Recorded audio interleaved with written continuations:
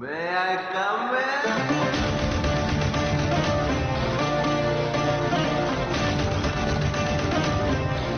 ನೀವು ನಮ್ಮ ಚಾನಲ್ನಲ್ಲಿ ಫಸ್ಟ್ ಟೈಮ್ ವಿಡಿಯೋ ನೋಡ್ತಾ ಇದ್ರೆ ವಿಡಿಯೋ ಕೆಳಗಿರುವ ಸಬ್ಸ್ಕ್ರೈಬ್ ಬಟನ್ ಅನ್ನು ಕ್ಲಿಕ್ ಮಾಡಿ, ಹಾಗೆ ಪಕ್ಕದಲ್ಲಿರುವ ಬೆಲ್ ಐಕಾನ್ ಅನ್ನು ಪ್ರೆಸ್ ಮಾಡಿ ಆಗ ಮಾತ್ರ ನಾವು ಮುಂದೆ ಅಪ್ಲೋಡ್ ಮಾಡುವ ವಿಡಿಯೋ ನೋಟಿಫಿಕೇಶನ್ ನಿಮ್ಮ ಮೊಬೈಲ್ ಹಾಗೂ ಡೆಸ್ಕ್ಟಾಪ್ಗೆ ಬರುತ್ತೆ ಹಾಯ್ ಫ್ರೆಂಡ್ಸ್ ಈ ವಿಡಿಯೋದಲ್ಲಿ ಯಾವ್ದ್ರ ಬಗ್ಗೆ ನೋಡ್ತೀವಿ ಅಂದ್ರೆ ಟ್ರಾನ್ಸ್ಮಿಷನ್ ಲೈನ್ನಲ್ಲಿ ಯೂಸ್ ಮಾಡುವಂತಹ ಇನ್ಸುಲೇಟಿಂಗ್ ಮೆಟೀರಿಯಲ್ಸ್ನ ಬಗ್ಗೆ ನೋಡ್ತೀವಿ. ಸೊ ಈ ವಿಡಿಯೋವನ್ನು ಸ್ಕಿಪ್ ಮಾಡದೆ ಕಂಟಿನ್ಯೂಸ್ ಆಗಿ ನೋಡಿ, ಆಗ ಮಾತ್ರ ಅರ್ಥ ಆಗುವುದು. ಸೊ ಇನ್ಸುಲೇಟಿಂಗ್ ಮೆಟೀರಿಯಲ್ ಅಂತ ಬಂದ್ರೆ, ಹಂಗಂದ್ರೆ ಟ್ರಾನ್ಸ್ಮಿಷನ್ ಮತ್ತು ಡಿಸ್ಟ್ರಿಬ್ಯೂಷನ್ ಲೈನ್ನಲ್ಲಿ ಯೂಸ್ ಮಾಡುವಂತಹ ಇನ್ಸುಲೇಟಿಂಗ್ ಮೆಟೀರಿಯಲ್ ಅಂತ ಬಂದ್ರೆ ಪಾರ್ಶಿಲಿಯನ್ನ ಯೂಸ್ ಮಾಡ್ತಾರೆ, ಮತ್ತೆ ಗ್ಲಾಸ್ ಮತ್ತೆ ಪಾಲಿಮರ್ ಗಳನ್ನ ಯೂಸ್ ಮಾಡ್ತಾರೆ. ಸೊ ಈ ಪಾರ್ಶಿಲಿಯನ್ ಇನ್ಸುಲೇಟರ್ನ ಜಾಸ್ತಿ ಆವಾಗ ಯೂಸ್ ಮಾಡ್ತಿದ್ರು. ಸೊ ಇವಾಗ್ಲೂ ಕೂಡ ಯೂಸ್ ಮಾಡ್ತಾರೆ. ಅಷ್ಟೊಂದಿಲ್ಲ. ಆದ್ರೆ ಪಾಲಿಮರ್ ಇನ್ಸುಲೇಟಿಂಗ್ ಮೆಟೀರಿಯಲ್ನ ಜಾಸ್ತಿ ಯೂಸ್ ಮಾಡ್ತಾರೆ. ಮತ್ತೆ ಗ್ಲಾಸ್ ಒಂದೊಂದು ಸ್ಟೇಟ್ ಅಲ್ಲಿ ಯೂಸ್ ಮಾಡ್ತಾರೆ. ಸೊ ಒಂದೊಂದು ಸ್ಟೇಟ್ ಅಲ್ಲಿ ಯೂಸ್ ಮಾಡಲ್ಲ. ಸೊ ಈ ಗ್ಲಾಸ್ ಇನ್ಸುಲೇಟಿಂಗ್ ಮೆಟೀರಿಯಲ್ನ ಎಲ್ಲಿ ನೋಡಿರ್ತೀರಿ ಅಂದ್ರೆ two twenty K V four hundred K V seven sixty five K V ಲೈನ್ಗಳಲ್ಲಿ ಈ ಗ್ಲಾಸ್ ಇನ್ಸುಲೇಟಿಂಗ್ ಮೆಟೀರಿಯಲ್ನ ನೋಡಿರ್ತೀರಿ. ಸೊ ಈ ಪಾರ್ಶಿಯಲಿಯನ್ನು ಕೂಡ ಯೂಸ್ ಮಾಡ್ತಾರೆ.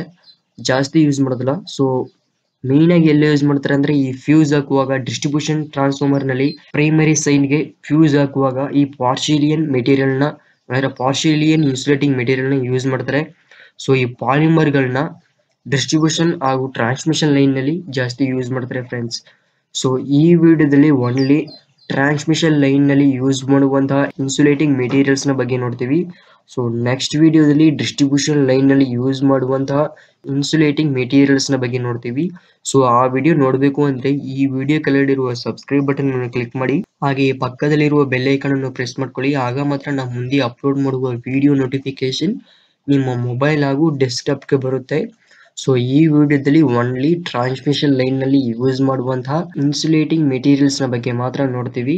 ಸೊ ಬನ್ನಿ ಫ್ರೆಂಡ್ಸ್ ಯಾವ್ಯಾವ ಇನ್ಸುಲೇಟಿಂಗ್ ಮೆಟೀರಿಯಲ್ಸ್ನ ಟ್ರಾನ್ಸ್ಮಿಷನ್ ಲೈನ್ನಲ್ಲಿ ಯೂಸ್ ಮಾಡ್ತಾರೆ ಅಂತ ನೋಡೋಣ. ಟ್ರಾನ್ಸ್ಮಿಷನ್ ಲೈನ್ ಅಥವಾ ಓವರ್ ಇಡ್ ಲೈನ್ನಲ್ಲಿ ಮೇನ್ ಆಗಿ ಯೂಸ್ ಮಾಡುವಂತಹ ಇನ್ಸುಲೇಟರ್ ಅಂತ ಬಂದ್ರೆ ಸಸ್ಪೆನ್ಷನ್ ಇನ್ಸುಲೇಟರ್ ಮತ್ತೆ ಸ್ಟ್ರೈನ್ ಇನ್ಸುಲೇಟರ್ನ ಜಾಸ್ತಿ ಯೂಸ್ ಮಾಡ್ತಾರೆ. ಹಾಗೂ ಪಿನ್ ಇನ್ಸುಲೇಟರ್ ಮತ್ತು ಪಾಸ್ಟ್ ಇನ್ಸುಲೇಟರ್ ಕೂಡ ಯೂಸ್ ಮಾಡ್ತಾರೆ. ಸೊ, ಈ ಪಿನ್ ಇನ್ಸುಲೇಟರ್ ಮತ್ತು ಪಾಸ್ಟ್ ಇನ್ಸುಲೇಟರ್ ನೋಡಕ್ಕೆ ಒಂದೇ ರೀತಿ ಇರುತ್ತೆ. ಆದರೆ ಸ್ವಲ್ಪ ಡಿಫ್ರೆನ್ಸ್ ಇರುತ್ತೆ. ಸೊ, ಅದ್ರ ಬಗ್ಗೆ ನೋಡೋಣ.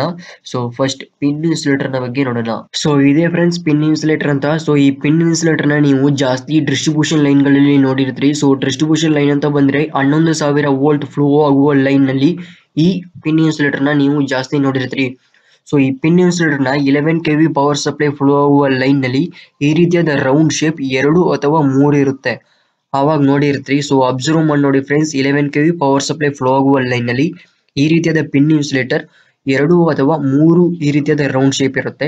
ಮತ್ತೆ ಡಿಸ್ಟ್ರಿಬ್ಯೂಷನ್ ಟ್ರಾನ್ಸ್ಫಾರ್ಮರ್ ಸೆಕೆಂಡರಿ ಸೈಡ್ನಲ್ಲಿ, ಹಾಗಾದ್ರೆ ಸೆಕೆಂಡರಿ ಸೈಡ್ ಇಂದ ಫ್ಲೋ ಆಗುವ ಲೈನ್ನಲ್ಲಿ ಈ ರೀತಿಯಾದ ಪಿನ್ ಇನ್ಸುಲೇಟರ್ನ ನೀವು ಜಾಸ್ತಿ ನೋಡಿರ್ತೀರಿ. ಹಂಗಂದ್ರೆ ನಿಮ್ಮ ಮನೆಗೆ ಯಾವ ಕಂಬದಿಂದ ಅಥವಾ ಯಾವ ಪೋಲ್ ಇಂದ ಸರ್ವಿಸ್ ಮಾಡಿರ್ತಾರೋ ಸೊ ಆ ಪೋಲ್ನಲ್ಲಿ ಈ ರೀತಿ, ಹಂಗಂದ್ರೆ ಆ ಕಂಬದಲ್ಲಿ ಈ ರೀತಿಯಾದ ಪಿನ್ ಇನ್ಸುಲೇಟರ್ ನೀವು ಜಾಸ್ತಿ ನೋಡಿರ್ತೀರಿ. ಸೊ ಇದು ಕೂಡ ಒಂದು ಪಿನ್ ಇನ್ಸುಲೇಟರ್ ಫ್ರೆಂಡ್ಸ್ ಇದನ್ನ ಒನ್ಲಿ ಫೋರ್ ಫೋರ್ಟಿ ಅಥವಾ ಟೂ ತರ್ಟಿ ಫ್ಲೋ ಆಗುವ ಲೈನ್ನಲ್ಲಿ ಮಾತ್ರ ಈ ರೀತಿಯಾದಂತಹ ಪಿನ್ ಇನ್ಸುಲೇಟರ್ನ ಜಾಸ್ತಿ ಯೂಸ್ ಮಾಡ್ತಾರೆ. ಸೊ ಈ ರೀತಿಯಾದ pin ಇನ್ಸುಲೇಟರ್ನ eleven K power supply flow ಆಗುವ ಲೈನ್ನಲ್ಲಿ ಯೂಸ್ ಮಾಡ್ತಾರೆ. ಆದ್ರೆ ಈ ರೀತಿಯಾದ ಪಿನ್ ಇನ್ಸುಲೇಟರ್ನ ಎಲ್ಲಿ ಯೂಸ್ ಮಾಡ್ತಾರೆ ಅಂದ್ರೆ ಟ್ರಾನ್ಸ್ಮಿಷನ್ ಲೈನ್ನಲ್ಲಿ ಫ್ಲೋ ಆಗುವ ಅಂದ್ರೆ ಟ್ರಾನ್ಸ್ಮಿಷನ್ ಲೈನ್ಗಳಲ್ಲಿ ಯೂಸ್ ಮಾಡ್ತಾರೆ. ಸೊ ಟ್ರಾನ್ಸ್ಮಿಷನ್ ಲೈನ್ನಲ್ಲಿ ಈ ಪಿನ್ ಇನ್ಸುಲೇಟರ್ನ ಪೋಸ್ಟ್ ಇನ್ಸುಲೇಟರ್ ಅಂತ ಕರೀತಾರೆ. ಏಕೆ ಅಂದ್ರೆ ಈ ರೀತಿಯಾದ ರೌಂಡ್ ಶೇಪ್ ಮೂರಕ್ಕಿಂತ ಜಾಸ್ತಿ ಇದ್ರೆ ಸೊ ಅದನ್ನ ಪಾಸ್ಟ್ ಇನ್ಸುಲೇಟರ್ ಅಂತ ಕರೀತಾರೆ. ಸೊ ಈ ಪಾಸ್ಟ್ ಇನ್ಸುಲೇಟರ್ನ ಮತ್ತು ಪಿನ್ ಇನ್ಸುಲೇಟರ್ನ ಯಾವ ರೀತಿ ಕಂಡುಹಿಡಿಯೋದು ಅಂದ್ರೆ ಸೊ ಪಿನ್ ಇನ್ಸುಲೇಟರ್ ಅಲ್ಲಿ ಈ ರೀತಿಯಾದ ರೌಂಡ್ ಶೇಪ್ ಮೂರು ಅಥವಾ ಎರಡು ಇರುತ್ತೆ. ಆದರೆ ಪಾಸ್ಟ್ ಇನ್ಸುಲೇಟರ್ನಲ್ಲಿ ಇದು ಮೂರಕ್ಕಿಂತ ಜಾಸ್ತಿ ರೌಂಡ್ ಶೇಪ್ ಇರುತ್ತೆ. ಸೊ ಹಿಂಗೆ ಫ್ರೆಂಡ್ಸ್ ಪಾಸ್ಟ್ ಇನ್ಸುಲೇಟರ್ ಮತ್ತು ಪಿನ್ ಇನ್ಸುಲೇಟರ್ನ ಕಂಡುಹಿಡಿತಾರೆ.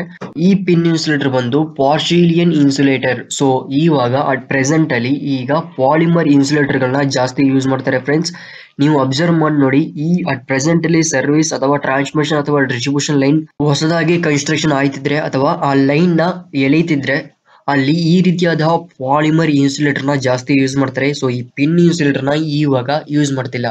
ಸೊ ಈ ಪಿನ್ ಇನ್ಸುಲೇಟರ್ ನೇ ಮೇಲ್ಗಡೆ ಒಂದ್ ರೀತಿ ಒಂದು ಈ ರೀತಿಯಾದ ಶೇಪ್ ಆದಲ್ಲ ಫ್ರೆಂಡ್ಸ್ ಈ ಶೇಪ್ನಲ್ಲಿ ಆ ಕಂಡಕ್ಟರ್ ಹಂಗಂದ್ರೆ ಎ ಸಿ ಎಸ್ ಆರ್ ಕಂಡಕ್ಟರ್ನ ಪ್ಲೇಸ್ ಮಾಡ್ತಾರೆ. ಇನ್ನೊಂದು ಕಂಡಕ್ಟರ್ ಹಂಗಂದ್ರೆ ಇನ್ನೊಂದು ಸ್ಮಾಲ್ ಕಂಡಕ್ಟರ್ ಇಂದ ಇದನ್ನ ಕಟ್ತಾರೆ.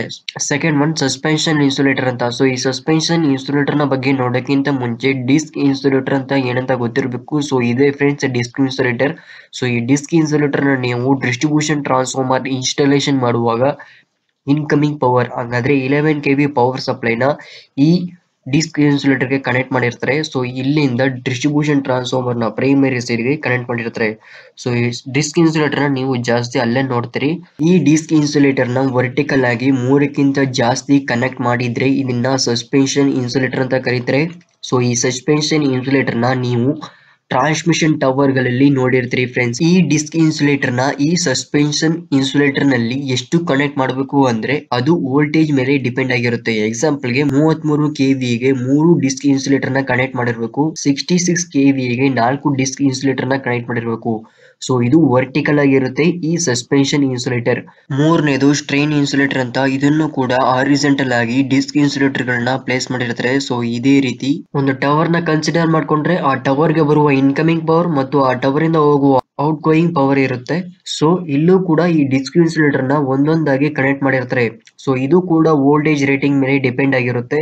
ಸೊ ಎಕ್ಸಾಂಪಲ್ಗೆ ಮೂವತ್ಮೂರು ಗೆ ಮೂರು ಡಿಸ್ಕ್ ಇನ್ಸುಲೇಟರ್ನ ಆಗಿ ಕನೆಕ್ಟ್ ಮಾಡಿರ್ತಾರೆ. ಮತ್ತೆ ಸಿಕ್ಸ್ಟಿ ಸಿಕ್ಸ್ಗೆ ಐದು ಡಿಸ್ಕ್ ಇನ್ಸುಲೇಟರ್ ಹಾರಿಜೆಂಟಲ್ ಆಗಿ ಕನೆಕ್ಟ್ ಮಾಡಿರ್ತಾರೆ. ಸೊ ಇದು ಎರಡು ಸೈಡ್ನಲ್ಲಿ ಇರುತ್ತೆ. ಹಾಗಂದ್ರೆ ಇನ್ಕಮಿಂಗ್ ಪವರ್ ಮತ್ತು ಟವರ್ನ ಔಟ್ ಗೋಯಿಂಗ್ ಪವರ್ ನಲ್ಲೂ ಎರಡು ಸೈಡ್ ನಲ್ಲೂ ಈ ಸ್ಟ್ರೈನ್ ಇನ್ಸುಲೇಟರ್ನ ಕನೆಕ್ಟ್ ಮಾಡಿರ್ತಾರೆ ಫ್ರೆಂಡ್ಸ್ ಸೊ ಇದನ್ನ ನೀವು ಟ್ರಾನ್ಸ್ಮಿಷನ್ ಟವರ್ಗಳಲ್ಲಿ ನೋಡಿರ್ತೀರಿ ಫ್ರೆಂಡ್ಸ್ ಈ ಸಸ್ಪೆನ್ಷನ್ ಇನ್ಸುಲೇಟರ್ ಹಾಗೂ ಈ ಸ್ಟ್ರೈನ್ ಇನ್ಸುಲೇಟರ್ನ ಒಂದೊಂದು ಟೈಮ್ನಲ್ಲಿ ಒಂದೇ ಟವರ್ನಲ್ಲಿ ಯೂಸ್ ಮಾಡ್ತಾರೆ. ಸೊ ಈ ರೀತಿ ಫ್ರೆಂಡ್ಸ್ ಹಾರಿಜೆಂಟಲ್ ಆಗಿ ಹಾಗೂ ವರ್ಟಿಕಲ್ ಆಗಿ ಈ ಸಸ್ಪೆನ್ಷನ್ ಹಾಗೂ ಸ್ಟ್ರೈನ್ ಇನ್ಸುಲೇಟರ್ನ ಒಂದೇ ಟವರ್ನಲ್ಲಿ ಯೂಸ್ ಮಾಡ್ತಾರೆ ಫ್ರೆಂಡ್ಸ್ ಈ ಪಿಕ್ಚರ್ನ ಅಬ್ಸರ್ವ್ ಮಾಡಿ ಒಂದೇ ಟೈಮ್ನಲ್ಲಿ ಯೂಸ್ ಮಾಡಿದ್ದಾರೆ. ಈ ಡಿಸ್ಕ್ ಇನ್ಸುಲೇಟರ್ನ ವೋಲ್ಟೇಜ್ ರೇಟಿಂಗ್ನಲ್ಲಿ ಸ್ಟ್ರೈನ್ ಇನ್ಸುಲೇಟರ್ ಹಾಗೂ ಸಸ್ಪೆನ್ಷನ್ ಇನ್ಸುಲೇಟರ್ನ ಡಿಸೈನ್ ಮಾಡ್ತಾರೆ. ಸೊ ಅದರಲ್ಲಿ first one thirty three KVA ನಲ್ಲಿ ಸ್ಟ್ರೈನ್ ಇನ್ಸುಲೇಟರ್ಗೆ ತ್ರೀ ಡಿಸ್ಕ್ ಇನ್ಸುಲೇಟರ್ನ ಯೂಸ್ ಮಾಡಿದ್ರೆ ಹಾಗೂ ಸಸ್ಪೆನ್ಷನ್ ಇನ್ಸುಲೇಟರ್ಗೆ ತ್ರೀ ಡಿಸ್ಕ್ ಇನ್ಸುಲೇಟರ್ನ ಯೂಸ್ ಮಾಡ್ತಾರೆ ಸೊ ಸೇಮ್ ಅದೇ ರೀತಿ ಸಿಕ್ಸ್ಟಿ ಸಿಕ್ಸ್ ಕೆವಿಎ ವೋಲ್ಟೇಜ್ ರೇಟಿಂಗ್ಗೆ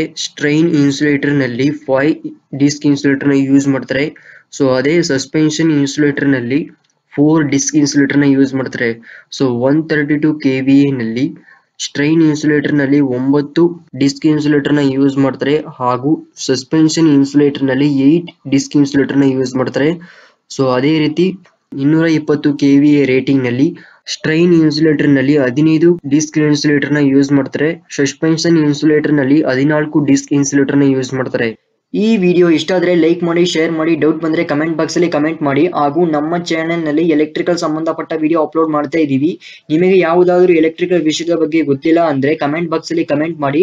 ನಾವು ಆ ವಿಷಯದ ಬಗ್ಗೆ ವಿಡಿಯೋ ಅಪ್ಲೋಡ್ ಮಾಡ್ತೀವಿ.